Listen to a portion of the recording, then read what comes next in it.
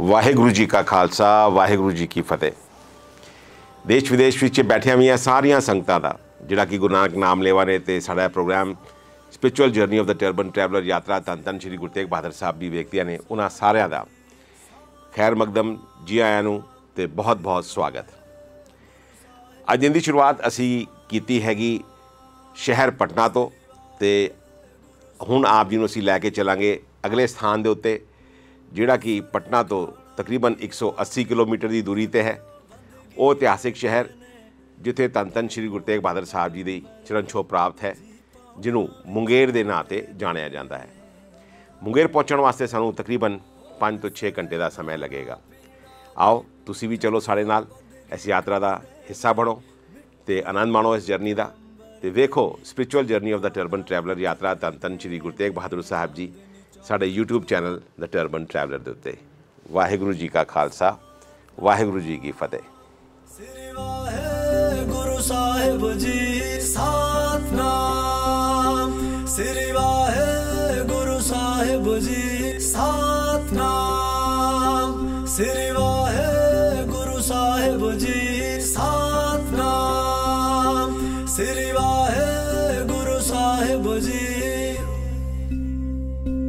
ਵਿਸਰੇ ਖਾਣਾ ਪੀਣਾ ਜੀ, ਜਦ ਉਹ ਬੰਦਗੀ ਕਰਦੇ ਨੇ, ਮਿੱਠੇ ਬੋਲ ਪੈਗੰਬਰ ਦੇ ਜੀ ਪਾਉਣਾ ਵਿੱਚ ਤਰਦੇ ਨੇ।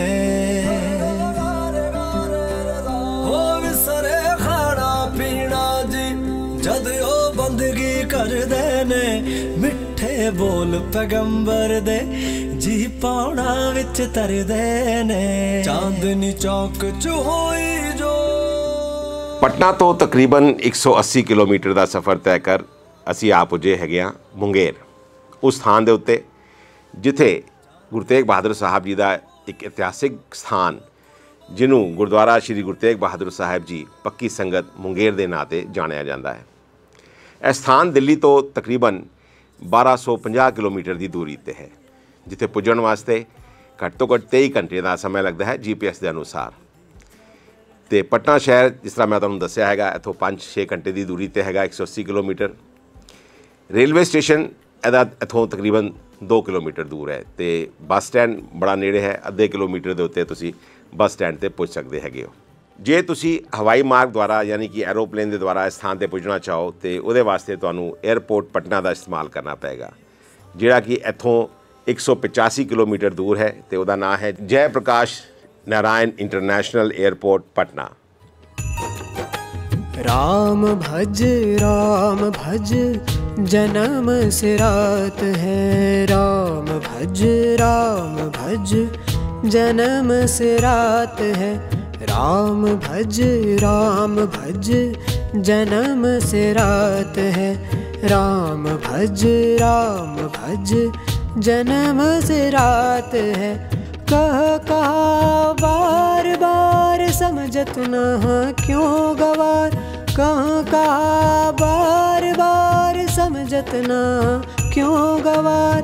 बिन सत न लगे बार, और समगात है बिन सत न लगे बार, और समगात है, राम भज राम भज, जन्म से रात है। राम भज राम भज जन्म से रात है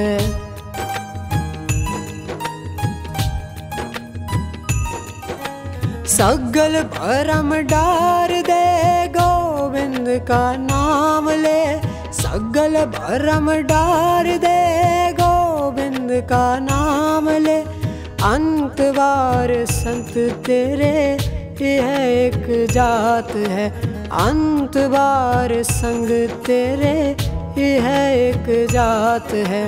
राम भज राम भज, जन्म से रात है। राम भज राम भज, जन्म से रात है। गुरुद्वारा श्री पक्की संगत ਮੁੰਗੇਰ ਉਹ ਸਥਾਨ ਹੈ ਜਿਹਦੇ ਬਾਰੇ ਚ ਆਖਿਆ ਜਾਂਦਾ ਹੈ ਕਿ ਧੰਨ ਧੰਨ ਸ਼੍ਰੀ ਗੁਰੂ ਤੇਗ ਬਹਾਦਰ ਸਾਹਿਬ ਜੀ ਪਟਨਾ ਤੋਂ ਜਿਸ ਵਕਤ ਆਪਣੀ ਪੂਰਬ ਦੀ ਯਾਤਰਾ ਵੱਲ ਅੱਗੇ ਨੂੰ ਤੁਰਦੇ ਨੇ ਤੇ ਸਾਰੀ ਸੰਗਤਾਂ ਨਾਲ ਇਸ ਸਥਾਨ ਦੇ ਉੱਤੇ ਆ ਕੇ ਉਹ ਪੁੱਛਦੇ ਨੇ।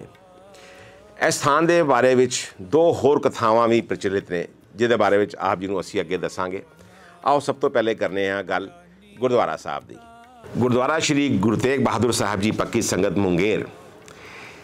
ਕਿਲੇ ਦੇ ਨੇੜੇ ਇੱਕ ਬੇਲਨ ਬਾਜ਼ਾਰ ਦੇ ਨਾਂ ਦਾ ਸਥਾਨ ਹੈ। ਉਸ ਸਥਾਨ ਦੇ ਉੱਤੇ ਇਹ ਗੁਰਦੁਆਰਾ ਸਾਹਿਬ ਸੁਸ਼ੋਭਿਤ ਨੇ। ਆਖਿਆ ਜਾਂਦਾ ਹੈ ਕਿ ਮੁੰਗੇਰ ਜਿਹੜਾ ਹੈ, ਇਹ ਪਾਗਲਪੁਰ ਦਾ ਹੀ ਹਿੱਸਾ ਮੰਨਿਆ ਜਾਂਦਾ ਸੀ।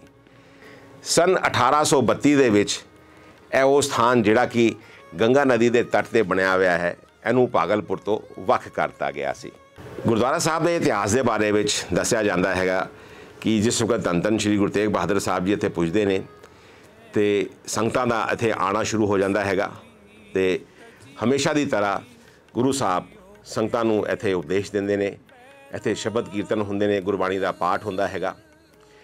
ਇਸ ਸਥਾਨ ਦੇ ਉੱਤੇ ਗੁਰੂ ਸਾਹਿਬ ਦੀਆਂ ਆਪ ਜੀ ਨੂੰ ਤਿੰਨ ਨਿਸ਼ਾਨੀਆਂ ਵੀ ਦੇਖਣ ਨੂੰ ਮਿਲਣਗੀਆਂ, ਜਿਹਦੇ ਵਿੱਚ ਇੱਕ ਪੁਰਾਣੀ ਖਾਟ ਹੈ, ਇੱਕ ਤਕੀਆ ਹੈ ਤੇ ਨਾਲ ਹੀ ਹਸਤ ਲਿਖਿਤ ਗੁਰੂ ਗ੍ਰੰਥ ਸਾਹਿਬ ਜੀ ਦਾ ਇੱਕ ਸਰੂਪ ਵੀ ਇੱਥੇ ਸ਼ੋਭਾਇਮਾਨ ਹੈ। ਇਤਿਹਾਸਕਾਰਾਂ ਦਾ ਦੱਸਣਾ ਹੈਗਾ ਕਿ ਇਹ ਖਾਟ ਤੇ ਤਕੀਆ, ਜਿਹੜੇ ਕਿ ਇਸ ਵਕਤ ਗੁਰਦੁਆਰਾ ਸਾਹਿਬ ਦੇ ਦਰਬਾਰ ਹਾਲ ਵਿੱਚ ਸ਼ੋਭਾਇਮਾਨ ਨੇ, ਜਿਹਦੇ ਆਪ ਜੀ ਦਰਸ਼ਨ ਕਰ ਰਹੇ ਹੈਗੇ ਹੋ। ਇਹ ਜਿਸ ਵਕਤ ਗੁਰੂ ਸਾਹਿਬ ਇੱਥੇ ਪੁੱਜੇ ਸੀਗੇ ਤੇ ਉਹਨਾਂ ਦੁਆਰਾ ਇਸਤੇਮਾਲ ਕੀਤੀਆਂ ਗਈਆਂ ਸੀਗੀਆਂ। ਸੰਗਤ ਜੀ, ਆਓ ਹੁਣ ਆਪ ਜੀ ਨੂੰ ਅਸੀਂ ਦੱਸਦੇ ਹੈਗੇ ਆ ਕਿ ਰਾਜਾ ਰਾਮ ਸਿੰਘ ਜੀ ਦਾ ਮੁੰਗੇਰ ਨਾਲ ਕੀ ਸੰਬੰਧ ਹੈਗਾ। ਰਾਜਾ ਰਾਮ ਸਿੰਘ ਜਿਹੜੇ ਸੀਗੇ, ਉਹ ਔਰੰਗਜ਼ੇਬ ਦੇ ਸਿਪੇ ਸਲਾਰ ਸੀਗੇ। ਤੇ ਔਰੰਗਜ਼ੇਬ ਉਸ ਵਕਤ ਦੇਸ਼ ਦੇ ਜਿੰਨੇ ਵੀ ਰਾਜੇ ਸੀਗੇ, ਉਹਨਾਂ ਨੂੰ ਆਪਣੇ ਸ਼ਾਸਨ ਦੇ ਅੰਦਰ ਲਿਆਉਣਾ ਚਾਹੁੰਦਾ ਸੀਗਾ। ਜਿਹਦੇ ਕਰਕੇ ਉਹਨੇ ਰਾਜਾ ਰਾਮ ਸਿੰਘ ਨੂੰ ਵਿਸ਼ੇਸ਼ ਅਧਿਕਾਰ ਤੇ ਸੈਨਾ ਦੀ ਟੁਕੜੀ ਵੀ ਦਿੱਤੀ ਸੀਗੀ। ਉਸੇ ਦੌਰਾਨ ਔਰੰਗਜ਼ੇਬ ਧੋਖੇ ਨਾਲ ਮਹਾਰਾਜ ਸ਼ਿਵਾਜੀ ਨੂੰ ਕੈਦ ਕਰ ਲੈਂਦੇ ਨੇ। ਤੇ ਮਹਾਰਾਜ ਸ਼ਿਵਾਜੀ ਜਿਹੜੇ ਸੀਗੇ, ਉਹ ਚਲਾਕੀ ਨਾਲ ਔਰੰਗਜ਼ੇਬ ਦੀ ਜਿਹੜੀ ਕੈਦ ਸੀ, ਉਸ ਤੋਂ ਫਰਾਰ ਹੋ ਜਾਂਦੇ ਨੇ। ਸ਼ਿਵਾਜੀ ਨੂੰ ਪਕੜ ਕੇ ਰੱਖਣ ਦਾ ਜ਼ਿੰਮਾ ਜਿਹੜਾ ਸੀਗਾ, ਉਹ ਰਾਜਾ ਰਾਮ ਸਿੰਘ ਦੇ ਸੀਗਾ। ਤੇ ਰਾਜਾ ਰਾਮ ਸਿੰਘ ਇਸ ਕੰਮ ਦੇ ਵਿੱਚ ਵਿਫਲ ਹੋ ਜਾਂਦੇ ਨੇ, ਜਿਸ ਦੇ ਕਰਕੇ ਔਰੰਗਜ਼ੇਬ ਨੂੰ ਉਹਨਾਂ ਤੇ ਬੜਾ ਰੋਸ਼, ਬੜਾ ਗੁੱਸਾ ਸੀਗਾ। ਔਰੰਗਜ਼ੇਬ ਇੱਕ ਚਲਾਕੀ ਦਾ ਕੰਮ ਕਰਦਾ ਹੈਗਾ। ਉਹਨੂੰ ਪਤਾ ਸੀਗਾ ਕਿ ਅਸਾਮ ਦਾ ਇਲਾਕਾ ਜਿਹੜਾ ਹੈ, ਉਹ ਜਾਦੂਈ ਸ਼ਕਤੀਆਂ ਨਾਲ ਭਰਿਆ ਹੋਇਆ ਹੈ ਤੇ ਉੱਥੇ ਕੋਈ ਵੀ ਬੰਦਾ ਜਾਣ ਤੋਂ ਕਤਰਾਂਦਾ ਸੀ। ਤੇ ਔਰੰਗਜ਼ੇਬ ਆਪਣਾ ਰੋਸ਼ ਤੇ ਬਦਲਾ ਲੈਣ ਲਈ ਰਾਜਾ ਰਾਮ ਸਿੰਘ ਦਾ ਜਿਹੜਾ ਜ਼ਿੰਮਾ ਹੈਗਾ, ਉਹ ਲਗਾਉਂਦਾ ਹੈਗਾ ਕਿ ਉਹ ਅਸਾਮ ਜਾ ਕੇ ਉੱਥਾ ਦੇ ਰਾਜਾ ਦੇ ਉੱਤੇ ਕਬਜ਼ਾ ਕਰੇ ਤੇ ਉਹਨਾਂ ਨੂੰ ਔਰੰਗਜ਼ੇਬ ਦੇ ਸ਼ਾਸਨ ਵਿੱਚ ਮਿਲਾਏ। ਸਾਰਿਆਂ ਨੂੰ ਪਤਾ ਸੀਗਾ ਕਿ ਅਸਮ ਦੇ ਰਾਜਾਵਾਂ ਨੂੰ ਪਰਾਜਿਤ ਕਰਨਾ ਨਾਮੁਮਕਿਨ ਸੀਗਾ, ਕਿਉਂਕਿ ਉਹ ਅਸਾਮ ਦੇ ਬਾਰੇ ਵਿੱਚ ਆਖਿਆ ਜਾਂਦਾ ਸੀਗਾ ਕਿ ਉਥੇ ਜਾਦੂਈ ਸ਼ਕਤੀਆਂ ਬਹੁਤ ਸਾਰੀਆਂ ਨੇ ਤੇ ਲੋਕ ਜਾਦੂ ਟੋਨਿਆਂ ਦਾ ਸਹਾਰਾ ਲੈਂਦੇ ਨੇ ਜੰਗਾਂ ਦੇ ਵਿੱਚ। ਤੇ ਇਸ ਕਰਕੇ ਉਥੇ ਲੋਕ ਜਾਣ ਨੂੰ ਕਤਰਾਉਂਦੇ ਸੀ ਤੇ ਕੋਈ ਵੀ ਰਾਜਾ ਅਸਾਮ ਦੇ ਵੱਲ ਰੁਖ ਨਹੀਂ ਕਰਦਾ ਸੀਗਾ। ਤੇ ਰਾਜਾ ਰਾਮ ਸਿੰਘ ਨੂੰ ਜਿਸ ਵਕਤ ਇਹ ਪਤਾ ਲੱਗਿਆ ਕਿ ਔਰੰਗਜ਼ੇਬ ਨੇ ਉਹਨਾਂ ਨੂੰ ਜਾਣ ਦਾ ਹੁਕਮ ਦਿੱਤਾ ਹੈ ਅਸਾਮ ਵੱਲ, ਤੇ ਉਹ ਤਨਤਨ ਸ਼੍ਰੀ ਗੁਰੂ ਤੇਗ ਬਹਾਦਰ ਸਾਹਿਬ ਜੀ ਦੀ ਸ਼ਰਨ ਵਿੱਚ ਆਉਂਦੇ ਨੇ ਮੁੰਗੇਰ ਵਿੱਚ। ਇਹ ਉਹ ਸਥਾਨ ਹੈ ਜਿੱਥੇ ਰਾਜਾ ਰਾਮ ਸਿੰਘ ਜੀ ਦੀ ਧੰਨ ਧੰਨ ਸ਼੍ਰੀ ਗੁਰੂ ਤੇਗ ਬਹਾਦਰ ਸਾਹਿਬ ਜੀ ਨਾਲ ਮੁਲਾਕਾਤ ਹੁੰਦੀ ਹੈਗੀ। ਇਤਫਾਕ ਕਹੀਏ ਜਾਂ ਸੰਜੋਗ ਕਹੀਏ ਜਾਂ ਹੋਣੀ ਕਹੀਏ ਧੰਨ ਧੰਨ ਸ਼੍ਰੀ ਗੁਰੂ ਤੇਗ ਬਹਾਦਰ ਸਾਹਿਬ ਜੀ ਉਸ ਵਕਤ ਆਪਣੀ ਅਸਾਮ ਦੀ ਯਾਤਰਾ ਦੇ ਉੱਤੇ ਪਹਿਲੇ ਹੀ ਜਾ ਰਹੇ ਸੀਗੇ, ਕਿਉਂਕਿ ਉਹਨਾਂ ਨੇ ਨਿਸ਼ਚੈ ਕੀਤਾ ਸੀਗਾ ਕਿ ਜਿਹੜੇ ਵੀ ਸਥਾਨ ਜਿੱਥੇ ਧੰਨ ਧੰਨ ਸ਼੍ਰੀ ਗੁਰੂ ਨਾਨਕ ਦੇਵ ਜੀ ਦੇ ਚਰਨ ਪਏ ਨੇ, ਉਹ ਸਾਰੇ ਉਸ ਸਥਾਨਾਂ ਤੇ ਜਾਣਗੇ ਤੇ ਉੱਥੇ ਸਿੱਖੀ ਦਾ ਪ੍ਰਚਾਰ ਕਰਨਗੇ। ਧੰਨ ਧੰਨ ਸ਼੍ਰੀ ਗੁਰੂ ਤੇਗ ਬਹਾਦਰ ਸਾਹਿਬ ਜੀ, ਰਾਜਾ ਰਾਮ ਸਿੰਘ ਦੀ ਬੇਨਤੀ ਸਵੀਕਾਰ ਕਰ, ਉਹਨਾਂ ਨਾਲ ਅਸਾਮ ਜਾਣ ਦਾ ਨਿਸ਼ਚੈ ਪੱਕਾ ਕਰ ਲੈਂਦੇ ਨੇ। ਇਸ ਕਰਕੇ ਇਹ ਸਥਾਨ ਰਾਜਾ ਰਾਮ ਸਿੰਘ ਤੇ ਤਨ ਧੰਨ ਸ਼੍ਰੀ ਗੁਰੂ ਤੇਗ ਬਹਾਦਰ ਸਾਹਿਬ ਜੀ ਨਾਲ ਜੁੜਿਆ ਹੋਇਆ ਹੈ ਉਹਦੀ ਕਥਾ ਸੀਗੀ। ਸਫਲ ਹੋਏ ਤਹ ਕਾਮ, ਨਿਸ ਦਿਨ ਜੋ ਨਾਨਕ ਭਜੈ।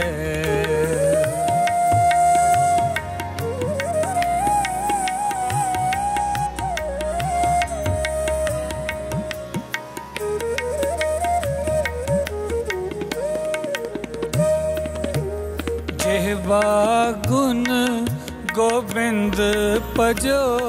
ਗੁਰੂ ਰੂਪ ਸਾਧ ਸੰਗਤ ਜੀ, ਵਾਹਿਗੁਰੂ ਜੀ ਕਾ ਖਾਲਸਾ, ਵਾਹਿਗੁਰੂ ਜੀ ਕੀ ਫਤਿਹ। ਇਸ ਪਵਿੱਤਰ ਇਤਿਹਾਸਕ ਸਥਾਨ ਤੇ ਸ੍ਰੀ ਗੁਰੂ ਤੇਗ ਬਹਾਦਰ ਜੀ ਆਪਣੀ ਅਸਾਮ ਯਾ- ਯਾਤਰਾ ਦੌਰਾਨ ਰੁਕੇ ਸਨ। ਪ੍ਰਵਾਸ ਦੇ ਦੌਰਾਨ ਉਹਨਾਂ ਨੇ ਇੱਥੇ ਦੀਆਂ ਸੰਗਤਾਂ ਨੂੰ ਉਪਦੇਸ਼ ਕੀਤੇ, ਗੁਰਬਾਣੀ ਨਾਲ ਜੋੜਿਆ ਤੇ ਸੰਗਤਾਂ ਨੇ ਵੀ ਉਹਨਾਂ ਦੀ ਬਹੁਤ ਸੇਵਾ ਕੀਤੀ।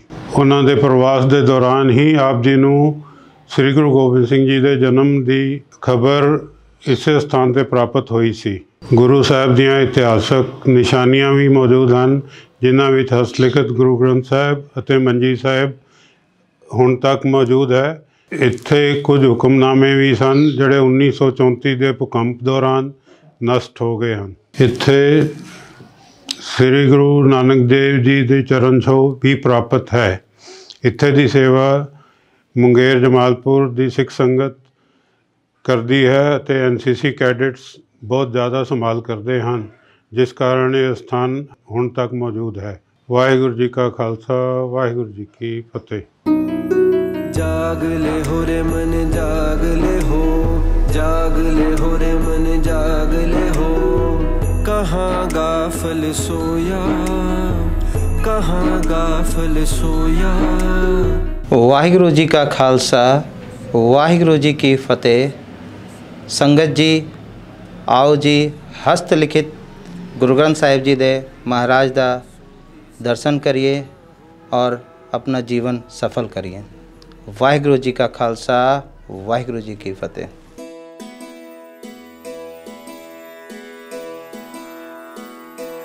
ਰੇ ਮੋਰੇ न राखे कोई। तू राम नाम जप सोई। तू राम नाम जप सोई। जब लागे तेल दिवे मुख बाती, जब लागे मुख बाती तब सूझे सब कोई तू राम नाम जप सोई ਇਸ ਸਥਾਨ ਦੇ ਉੱਤੇ ਇੱਕ ਹੋਰ ਵੀ ਕਥਾ ਪ੍ਰਚਲਿਤ ਹੈਗੀ ਜਿਹੜੀ ਕਿ ਭਗਵਾਨ ਰਾਮ ਦੇ ਸਮੇਂ ਦੀ ਹੈਗੀ ਉਹਦੇ ਬਾਰੇ ਵਿੱਚ ਇਤਿਹਾਸਕਾਰਾਂ ਦਾ ਇਹ ਲਿਖਣਾ ਹੈਗਾ ਕਿ ਜਿਸ ਵਕਤ ਬਨਵਾਸ ਦਾ ਸਮਾਂ ਸੀਗਾ ਇਸ ਸਥਾਨ ਦੇ ਉੱਤੇ ਆ ਕੇ ਰਾਜਾ ਰਾਮ ਰੁਕੇ ਸੀਗੀ ਆਪਣੇ ਪਤਨੀ ਸੀਤਾ ਨਾਲ। ਤੇ ਇਹ ਉਹ ਸਥਾਨ ਵੀ ਹੈ ਜਿੱਥੇ ਲੰਕਾ ਫਤਿਹ ਕਰਨ ਤੋਂ ਬਾਅਦ ਜਿਸ ਵਕਤ ਸੀਤਾ ਮਾਤਾ ਨੂੰ ਆਪਣੇ ਨਾਲ ਲੈ ਕੇ ਆਉਂਦੇ ਨੇ ਤੇ ਉਹਨਾਂ ਦੀ ਅਗਨੀ ਪ੍ਰੀਖਿਆ ਹੁੰਦੀ ਹੈਗੀ। ਤੇ ਉਹ ਅਗਨੀ ਪ੍ਰੀਖਿਆ ਜਿੱਥੇ ਹੋਈ ਸੀ, ਉਹ ਮੁੰਗੇਰ ਹੀ ਸਥਾਨ ਸੀ। ਐਸਾ ਇਤਿਹਾਸਕਾਰ ਦੱਸਦੇ ਨੇ ਤੇ ਇਤਿਹਾਸ 'ਚ ਲਿਖਿਆ ਹੈਗਾ। ਸਨ 1934 ਦੇ ਵਿੱਚ ਇੱਥੇ ਇੱਕ ਬਹੁਤ ਵੱਡਾ ਜ਼ਲਜ਼ਲਾ ਯਾਨੀ ਕਿ ਭੂਕੰਪ ਆਇਆ ਸੀਗਾ, ਜਿਹਦੇ ਕਰਕੇ ਇੱਥੇ ਕਾਫੀ ਸਾਰਾ ਨੁਕਸਾਨ ਹੋਇਆ ਸੀ। ਲੇਕਿਨ ਇੱਥੇ ਦੀ ਸੰਗਤ ਨੇ ਇੱਕ ਸਾਲ ਦੇ ਅੰਦਰ ਹੀ ਗੁਰਦੁਆਰਾ ਸਾਹਿਬ ਜੀ ਦਾ ਪੁਨਰ ਨਿਰਮਾਣ ਕੀਤਾ ਤੇ ਇਸ ਸਥਾਨ ਦੇ ਉੱਤੇ ਤੇ ਇੱਥੇ ਨਾਲ ਇੱਕ ਹੋਰ ਗੁਰਦੁਆਰਾ ਹੈ ਜਿਹੜਾ ਕਿ ਜਮਾਲਪੁਰ ਵਿੱਚ ਹੈ। ਉਹ ਦੋਨਾਂ ਸਥਾਨਾਂ ਦੇ ਉੱਤੇ ਪੂਰਨਮਾਸ਼ੀ ਦੇ ਦਿਨ ਕਾਫੀ ਸੰਗਤ ਇਕੱਠੀ ਹੁੰਦੀ ਹੈਗੀ ਤੇ ਲੋਕ ਇੱਥੇ ਆ ਕੇ ਗੁਰਦੁਆਰਾ ਸਾਹਿਬ ਦੇ ਦਰਸ਼ਨ ਕਰਦੇ ਨੇ।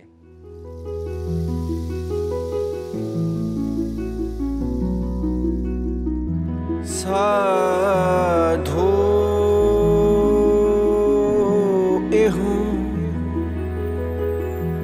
ਤਨ ਮਿੱਥਿਆ ਜਾਨੋ।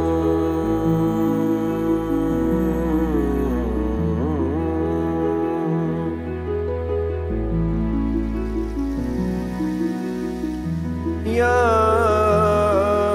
ਭੀਤਰ ਜੋ ਸੰਗਤ ਜੀ, ਅੱਜ ਆਪ ਜੀ ਨੇ ਦਰਸ਼ਨ ਕੀਤੇ ਗੁਰਦੁਆਰਾ ਸ਼੍ਰੀ ਗੁਰੂ ਤੇਗ ਬਹਾਦਰ ਸਾਹਿਬ ਜੀ, ਪੱਕੀ ਸੰਗਤ ਮੁੰਗੇਰ ਬਿਹਾਰ ਦੇ।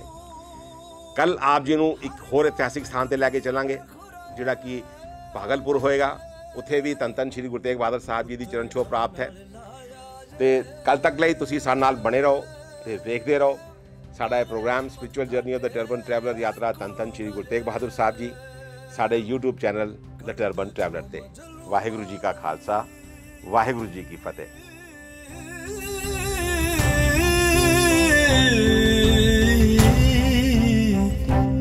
ਕਰਦੇ ਜੋ ਮਜਲੂਮਾ ਲਈ ਹਰ ਇੱਕ ਧਰਮ ਦਾ ਆਦਰ ਹੈ।